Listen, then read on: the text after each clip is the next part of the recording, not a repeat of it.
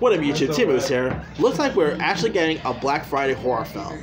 It's reported that Bruce Campbell will star alongside Final Destination's Devon Sawa and Michael Jai White from Spawn fame in a new horror film simply titled, well, Black Friday.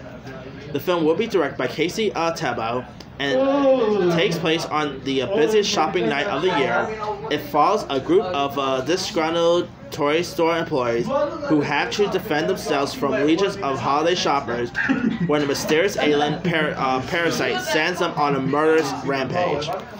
So this is pretty much uh, what uh, Black Friday is pretty much like in real life. All right, this is pretty much like a documentary. Okay, I, I, I don't I try to I try to uh, not do Black Friday and all that because Black Friday is not the malls are not what you call saint on Black Friday. I can imagine what Black Friday is gonna look like after uh, Thanksgiving.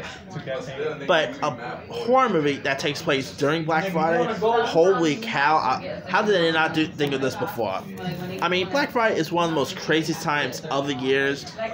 So how did, how did they not decide to do a horror film about Black Friday before it's beyond me. This sounds awesome. I mean, you got a horror icon like Bruce Campbell in this.